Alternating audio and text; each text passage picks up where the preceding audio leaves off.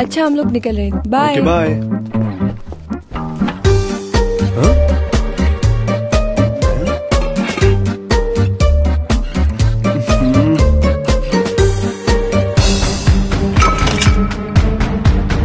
बीवी के साथ हर दिन जूता छुपाई खेलोगे या मसले को हल करोगे?